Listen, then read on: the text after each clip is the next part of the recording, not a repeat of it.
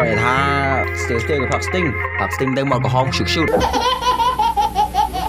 អូខេសូមជម្រាបសួរបងប្អូនទាំងអស់គ្នាតាមតាមវីដេអូ G-Win ជាពិសេស G-Fam G-Win Family ទាំងអស់គ្នាផងដែរបាទថ្ងៃនេះបាទគឺថាអូមាន All Pro Aussie ខ្ជុកជូតច្រើនណាស់ដែលគាត់ឆាតមកផងគាត់ comment ក្នុង YouTube ផងគាត់ថា Bro Did way ទម្លាក់ចម្រៀងហើយ Bro កុំភ្លេចចូល reaction កុំភ្លេចចូល reaction បាទឥឡូវនេះខ្ញុំបានមកដល់ហើយ reaction ក្តៅក្តៅហើយខ្ញុំនឹង reaction ហើយខ្ញុំសង្ឃឹមថាខ្ញុំកាត់តតាន់ហើយផុសនៅពេលយប់នឹងផងដែរបាទឲ្យក្តៅម៉ែក្តៅតែម្ដងទៅ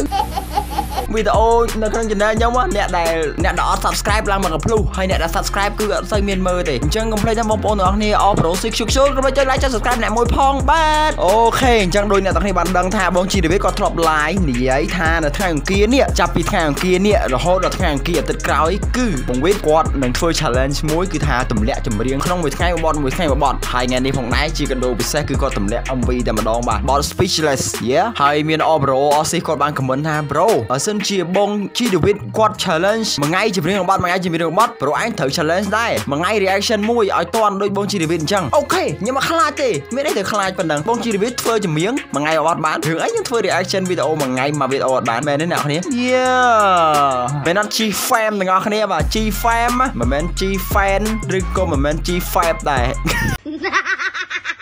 អបរ៉ូស៊ីកឈឹកឈុតកុំភ្លេចជួយចូលទៅចុច like រូបខ្ញុំម្នាក់មួយនៅក្នុង page Honda សុនសុភានេះ link នៅខាងក្រោមហ្នឹង YouTube គេដាក់នៅក្រោមហ្នឹងបាទហើយបើ Facebook ដាក់នៅលើយ៉ាឥឡូវយើងបានចូលមកដល់ channel Ditway ហើយបងប្អូនទាំងគ្នាបើសិនជាចង់ស្ដាប់ពេញតិចកុំភ្លេចចូលទៅក្នុង channel Ditway តែម្ដងទៅបាទចុច like មួយមក Speechless Ditway Lyric Ditway beat yeah shout out to bro Alvin បាទ beat នេះគឺនឹងតែ dope តែម្ដងហើយគាត់តែឃើញឈ្មោះ Alvin មកព្រោះខ្ញុំ fan Alvin បាទខ្ញុំចូល channel គាត់ស្ដាប់ beat ដែលគាត់ធ្វើនៅក្នុង channel គាត់ហ្នឹងឡើងខ្ទេចខ្ទីហើយមួយថ្ងៃចង់មួយ10ដង MV director ទេពនិមិត្តអូខេ shout out to ប្រាដទេពនិមិត្តដូចគ្នាផងដែរបាទអូខេអបរ៉ូស៊ី shoot shoot let's go let's get it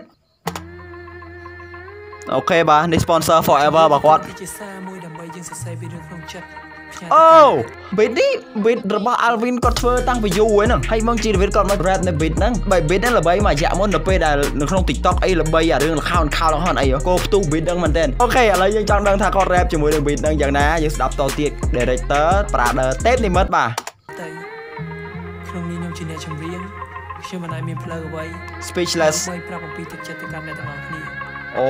ប៉ុន្តែខ្ញុំសង្ឃឹមថាបទចម្រៀងរបស់ខ្ញុំនឹងចូលទៅក្នុងបេះដូងនិងខួរក្បាលអ្នកទាំងអស់គ្នាអូខេអញ្ចឹងគឺគាត់និយាយនឹងអ្នកនរគ្នាគួរទៅយល់ហើយខ្ញុំមិនបាច់បកស្រាយច្រើនទេតោះ Beat boy.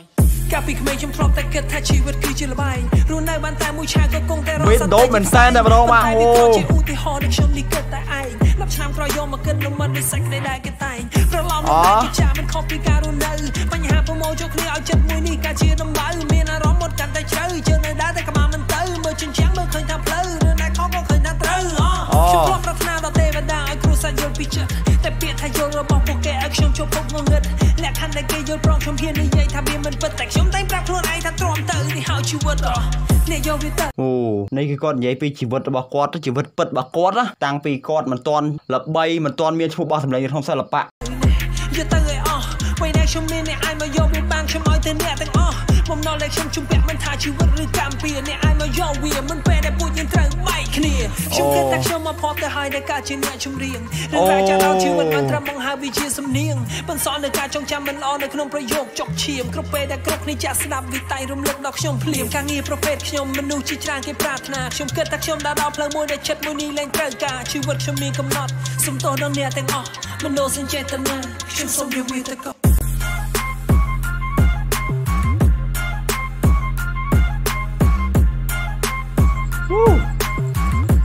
beat dope មែនតើ beat ហ្នឹងខ្ញុំស្រខ្ញុំចូលចិត្ត beat ហ្នឹងមែនតើហ្មងនិយាយមែនណា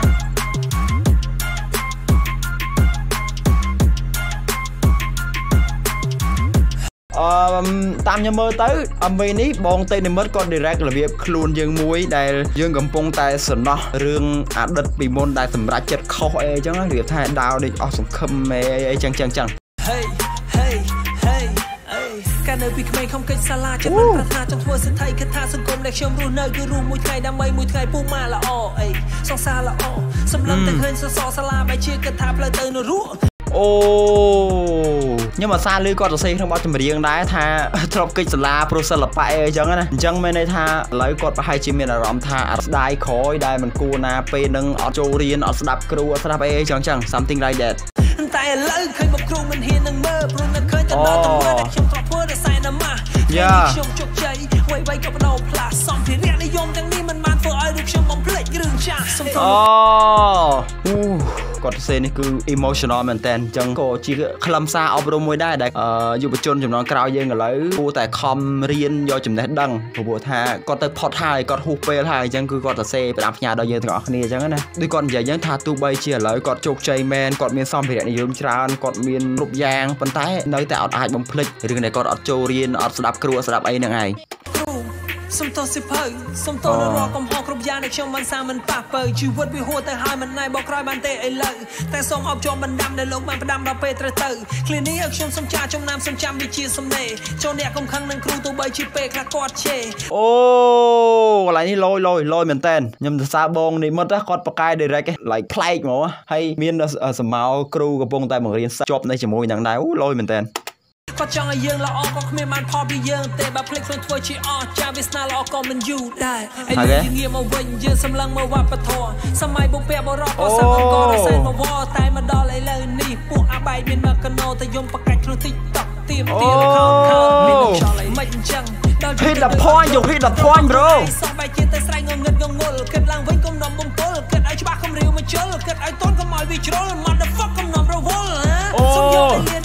លាដល់ខ្លីលោកលៃមកជួយរក្សាការពារកុំឲ្យត្រូវត្រូវត្រូវដាំឲ្យតាំងមកដាបន្ទោគ្នាចោលចរិតប្រខំគ្នារំពេលដែលគ្រាមមានអសន្នសុំចិត្តឲ្យអ្នកយល់ពេលខ្លះអាចោលវាចូលប្រឡំឈប់ត្រូវអូវ៉ាវ ខ្ញុំមិនដឹងថាអ្នកគ្នាពេលដែលស្ដាប់បទហ្នឹងអ្នកទាំងគ្នាមានអារម្មណ៍យ៉ាងណាទេប៉ុន្តែសម្រាប់ខ្ញុំមួយខ្ញុំព្រឺសពលតាំងពីដើមដល់នេះហ្មងនេះបាស់ហូមរហូតហ្មងអ្នកទាំងគ្នាខ្ញុំនិយាយមុខកំពូលភ្លើងពីគ្រាដំបូងគាត់រ៉េបពីជីវិតរបស់គាត់បន្ទាប់មកបើពីនេះគឺគាត់រ៉េបអំពីគាត់គិតខុសដែលគាត់ពីមុនគាត់អត់បានទៅរៀនគាត់កិច្ចសាលាព្រោះសិល្បៈព្រោះអីអីចឹងទៅ something like that ហើយបន្ទាប់មកទៀតគឺគាត់និយាយអំពី account ខោលហើយជាពិសេសពួកនៅក្នុង TikTok ដែលជារបៀបថាពួកជោពេលគេផ្ទុះផ្អើលរឿង account ខោលបងនាំគ្នាធ្វើយំធ្វើស្ដាយធ្វើសំណោះ account ខោលហើយចុះពេលដែលធម្មតាអ្នកមិនក៏មិននាំគ្នាគ្រប់ត្រូល account ខោលជាធម្មតាទៅទៅចូលរួម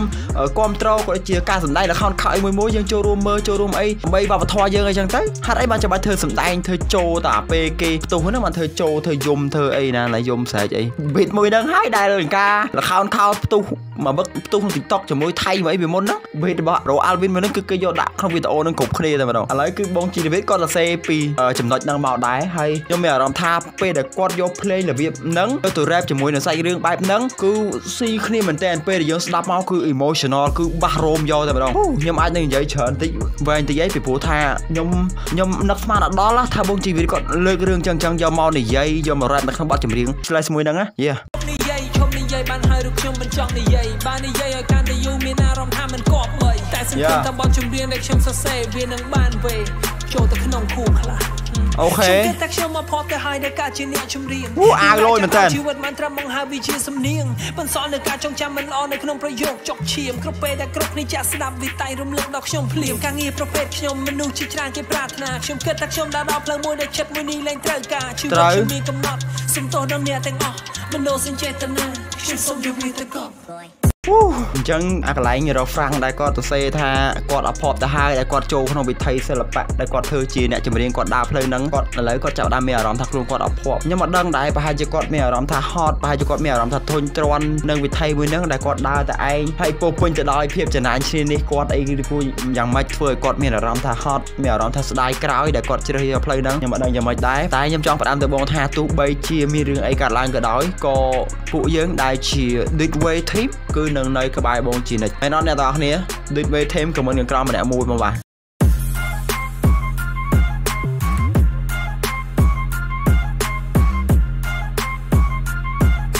Wait dope wait dope អមីនេះប្រហែលជាថតនៅសៀមរាបបាទ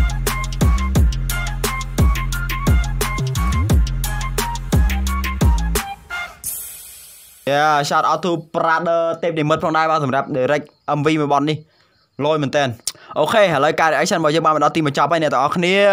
ហូយល់ឃើញយ៉ាងណាដែរបាទកុំភ្លេច comment ខាងក្រោមឲ្យយើងមិនដឹងម្នាក់មួយផងអបរ៉ូស៊ី shoot shoot ដោយសារខ្ញុំទៅទៅស្ដាប់អញ្ចឹងខ្ញុំអត់តន់កសោបនៃបានទេថា speechless ហ្នឹងគឺគាត់ចង់និយាយ focus ទៅលើអីបើសិនជាអ្នកទាំងគ្នាអាចយល់បានកសោបនៃបាន comment ខាងក្រោមឲ្យខ្ញុំបានដឹងផងប៉ុន្តែសម្រាប់ខ្ញុំខ្ញុំគិតថាប្រហែលជា speechless ហ្នឹងគឺគាត់ចង់និយាយផ្ដាំទៅមនុស្សមួយចំនួនដែលបានតែនិយាយបានតែមាត់អត់បានការគាត់តែនិយាយបពេចបបាច់អត់ប្រយោជន៍ប្រហែលជាអញ្ចឹងដូចជាតារាក្នុង TikTok មួយចំនួន comment ដែលគិតតែរំបែកឆ្លយអលេអលើអឡាបឡាហើយដល់ពេលគេផ្ទុះរឿងលខោនខោចហ្នឹងมันធ្វើចូលយំស្រែករឿងលខោនខោចអីចឹង something like that ចឹងណាអាពួកអស់ហ្នឹងឯងគេហៅថា speechless ប្រពុចប្របាច់អត់ប្រយោជន៍ប៉ុន្តែរឿងហ្នឹងយើងទុកម្លាយសិនយើងនិយាយចំពោះបទនេះសម្រាប់ខ្ញុំផ្ទាល់ណាខ្ញុំ rate ឲ្យ10លើ10ហ្មងអ្នកនរគ្នាព្រោះអត្ថន័យគឺល្អ perfect តែម្ដងនិយាយអំពីបបពិសោធន៍ជីវិតផ្ទាល់របស់គាត់និយាយអំពីទស្សនវិជ្ជានៅក្នុងសង្គមអត្ថន័យអប់រំបង្កប់គឺជ្រៅល្អមែនតើហើយចំពោះ rap flow rap បែបហ្នឹងគឺស៊ីជាមួយនឹង beat playing មួយហ្នឹងតែម្ដងហើយក៏ shout out Pro Alvin ផងដែរដែលគាត់ produce play មួយហ្នឹងគឺ dope មែនតើ